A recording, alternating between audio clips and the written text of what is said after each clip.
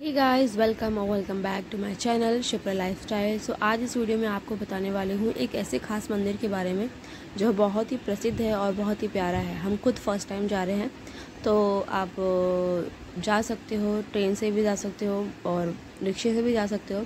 अगर आप नारा सोपरा के आसपास रहते हो तो आप रिक्शे से जाओ तो ज़्यादा बेटर है, क्योंकि ये विरार फाटा पे मंदिर है। हाईवे पे। आप वहाँ जाने के लिए आपको विरार फाटा बोलना पड़ेगा। जैसे कि हम मंदिर पहुँच चुके हैं, वहाँ का मंदिर का नाम है शेषनाग शिव मंदिर। इतनी भीड़ वहाँ पे नहीं रहती है। आज का दिन था त्यौहार का फेस्टिवल का। शे, आज नागपंचमी थी, इसीलिए और सावन का सोमवार भी था, इसीलिए इतनी भीड़ है यहाँ पर। वैसे तो ये मंदिर पूरा का पूरा खाली रहता है और बहुत सुंदर मंदिर है। हम भी फ़र्स्ट टाइम गए थे। इसका आसपास का नज़ारा बहुत सुंदर है और आपको बहुत मज़ा आएगा अगर आप फैमिली के साथ जा रहे हो। ऐसे दिनों में नॉर्मल दिनों में खाली रहता है। आप कुछ बना करके लेके जा सकते हो घर पे, घर से वहाँ पे बैठ के खा सकते हो और यहाँ पे एक गौशाला भी है। अगर आपको कुछ दान करना है गौ को खिलाना है तो वो भी ले जा सकते हो। तो आप मंदिर इस तरीके से जा सकते हो, रिक्शे से भी आ सकते हो और विरार विरार से ट्रेन के ज़रिए भी जा सकते हो। तो आपको वहाँ जाने के लिए आपको रिक्शा करना ही पड़ेगा क्योंकि ये विरार और नालासोपारा के बीच में नाला नालासोपारा के हाईवे पे है। नालासोपारा से थोड़ा सा नज़दीक हाईवे पे है। उसके बाद आपको ज़्यादा आसान पड़ेगा, मुझे लगता है, रिक्शे से आसान पड़ेगा। सो यहाँ पे हम लोग मंदिर में पहुँच चुके हैं। मंदिर में जाते ही थोड़ा सा चढ़ावा है, चढ़ता मतलब नॉर्मल चढ़ावा चढ़ने वाला है। सीढ़ी वगैरह नहीं है बट आपको ऐसे नॉर्मल से चढ़ने के लिए रहेगा। और यहाँ पे इस तरीके से हम लोग तो गए थे, हम लोग को थोड़ा सा ये सब चीज़ें मतलब अच्छा लगता है मुझे स्पेशली अच्छा लगता है तो इसलिए हमने उन्होंने लगाया था। दो रुपये की एक छाप और टीका का भी पैसा था। मतलब सबकी कमाई अपनी अपनी है सब अपना कमाना चाहते हैं। तो इस तरीके से हमने हर चीज़ इंजॉय की हर चीज़ मज़े करे और हमने लगाई मिठाई खिलौने कपड़े सब कुछ वहाँ पे मिलते हैं। लेकिन ये सिर्फ़ फेस्टिवल वाले दिन का था। नॉर्मल डे में आपको कुछ भी नहीं मिलेगा। आ, खाली मिलेगा। एक सुकून अगर आपको चाहिए, एक शांति अगर आपको चाहिए तो आप वहाँ जा सकते हो, एक प्यार से मंदिर में। यहाँ पे हम लोग इतने एक्साइटेड हो गए कि सबके सब लगाने लगे मेहंदी। सबको पता है कि पानी पड़ते ही पसीना आते ही ख़राब हो जाता है, मिट जाता है बट फिर भी सबने लगा लिया। उसके बाद हम चले आगे। थोड़ी सी भीड़ थी यहाँ पे, क्योंकि फेस्टिवल का दिन है। यहाँ पे मंदिर का ये आसपास का नज़ारा है। बहुत ही सुंदर मंदिर है और बहुत ही सुंदर आसपास का नज़ारा भी है। यहाँ पे खाने के लिए भी बनाया गया है। अगर आपको भोजन करना है तो उसके लिए भी एक स्पेशल जगह है नीचे साइड अब वहाँ जाके खा सकते हो। खाना वगैरह। उसके आगे हम लोग आ गए ऊपर सीढ़ी से नॉर्मल मुझे लगे दस से पंद्रह सीढ़ियाँ होंगी सिर्फ़ नॉर्मल सीढ़ी से लाइन लगा ली हमने। उसके बाद ऊपर चढ़ने के लिए हम तैयार हो चुके थे।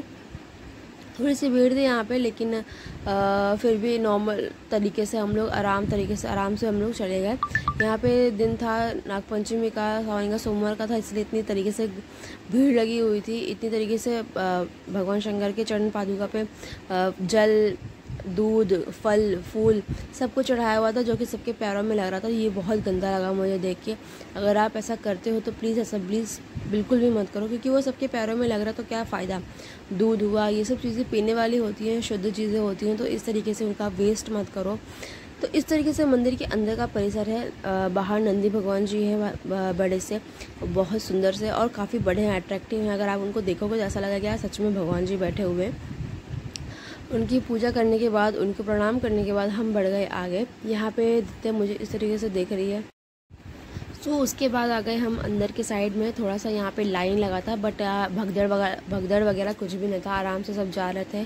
भगवान जी के दर्शन कर रहे थे। यहाँ पे चारों साइड जो बम्बू लगा हुआ है लकड़ी लगा हुआ है वो नहीं रहता है। बेसिकली आज त्यौहार था इसीलिए ये लगाया हुआ था क्योंकि लोग भागे ना लोग घुसे ना लोग किसी कि, किसी को किसी प्रकार की प्रॉब्लम ना हो इसीलिए लगाया गया था। यहाँ पे भगवान जी की पालकी भी थी जो घुमाते हैं पालकी चारों तरफ़ वो पालकी भी ला के रखी हुई थी।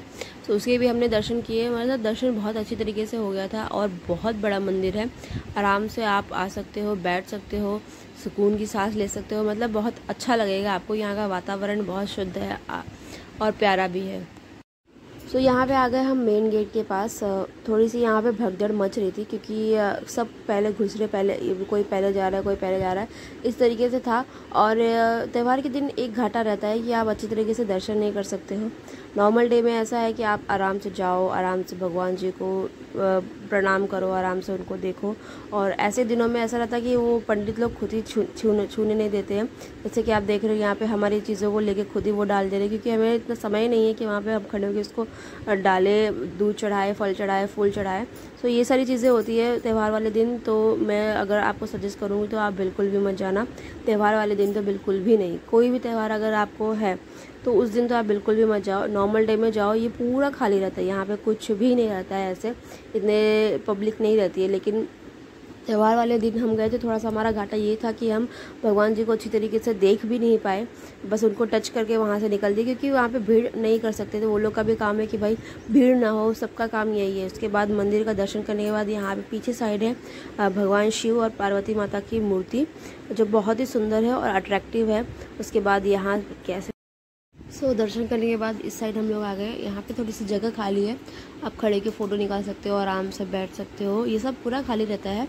आज थोड़ी सी भीड़ थी लेकिन वैसे पूरा खाली रहता है। आराम से बैठ के आप यहाँ पे फ़ोटो वगैरह निकाल सकते हो और जैसा कि मैंने बोला कि आप सुकून की सांस ले सकते हो। यहाँ पे ऐसी जगह है ये। सो so, मंदिर मंदिर के दर्शन तो हो गए। माता रानी के और भगवान जी के दर्शन तो हो गए।